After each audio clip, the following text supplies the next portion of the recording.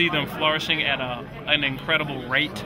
I think with the internet, it has really leveled the playing field on how you put out information. I mean, you just look at the writers going on strike. A lot of the reason that they're on strike right now is just because they're not able to get a lot of the royalties that they should be getting because the way information is distributed now.